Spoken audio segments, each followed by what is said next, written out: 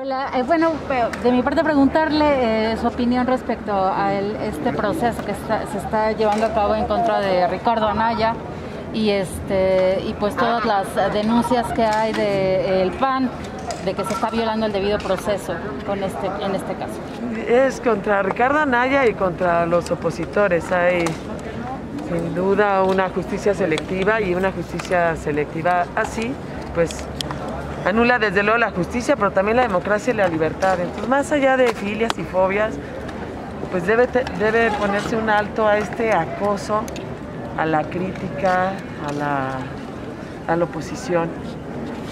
Y yo sí lamento que se esté persiguiendo a los opositores por ser opositores.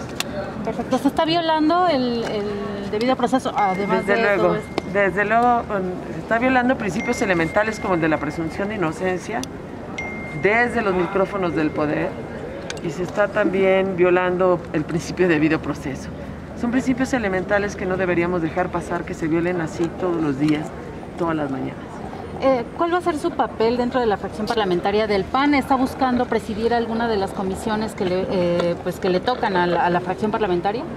Desde luego soy parte del grupo parlamentario del PAN, estoy muy contenta de serlo, estaremos sumando y por supuesto estaremos pues revisando estratégicamente qué es lo mejor para el grupo parlamentario y, y por supuesto para México. Pero ahí estaremos, hemos decidido dos temas fundamentales eh, inmediatos, la reactivación económica y la salud en términos de derechos, en términos de desabasto de, hospital, de, déficit hospitalario, por supuesto de desabasto de medicinas que tiene su expresión más cruel en la falta de medicinas para niños y niñas con cáncer. Pues para presidir volver a instaurar eh, estas eh, estancias infantiles que se crearon? No es solo un asunto mío, hay un consenso generalizado, ya no digo de diputadas y diputados, sino también en el país, de la importancia de recuperar las estancias infantiles. Creo que fue un error haberlas quitado y en una autocrítica elemental, pues creo que hay que echarlas a andar, las estancias infantiles, más en un momento en donde la reactivación económica obliga a ese tipo de condiciones y donde la integración al mercado laboral de las mujeres es muy importante y las estancias infantiles ayudaban a ello. yo te quiero preguntar, este incidente que sucedió en Chiapas y el presidente, ¿qué, lectura le das?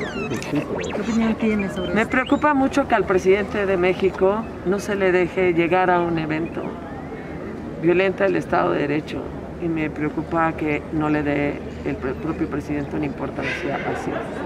Es que si vamos violentando todos el derecho, pues va, a ser de todos los días. Si un día los dejamos tomar trenes, ¿por qué un día no se les va a dejar tomar una carretera y nada más que no pase el presidente?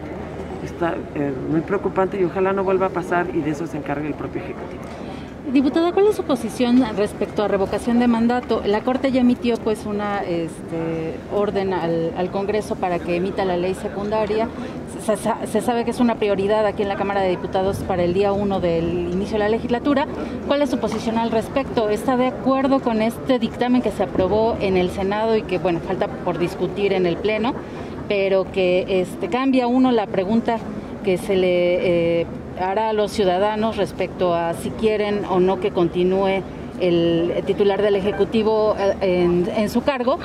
Pero pues en esta pregunta que se modificó no viene eh, tal cual revocación de mandato, sino más bien es la ratificación en el cargo del presidente. ¿Está de acuerdo con este dictamen? Mire, yo lo que pasa es que no estoy de acuerdo ni siquiera con la figura de revocación de mandato. Me parece además que es una figura que no es de, no le da poder al ciudadano, sino al propio poder, no es democracia participativa, sino más bien plebiscitaria.